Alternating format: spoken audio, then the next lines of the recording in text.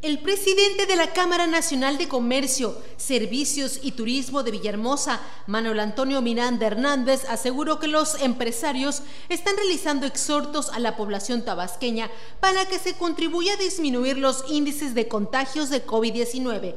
Y es que destacó que existe el temor de que el Estado, ante las altas cifras, puedan regresarlo a semáforo rojo, situación que generaría un colapso para el sector. Aseveró que no quieren ni pensar cómo sería regresar a un semáforo de restricciones, por lo que convoca a la conciencia de todos para que nos cuidemos y se mantengan firmes las medidas sanitarias para que los casos vayan a la baja. No, ya colapsaríamos completamente ni pensarlo. Evidentemente yo creo que ya eh, sería se estaría cerrando alrededor de uno al 40% del sector empresarial y más las empresas medianas y pequeñas sería catastrófico para Tabasco. Sí, imagínate, si las grandes cerraron, por ejemplo, les pongo un ejemplo, las tiendas Oxxo cerraron 10 sucursales durante toda la pandemia.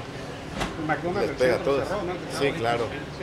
Claro, entonces sí nos pegaría a todos por igual. El líder empresarial indicó que los comercios adheridos a la Cámara han cumplido las medidas sanitarias establecidas para evitar sanciones. Marisol Mateos, las reporteras.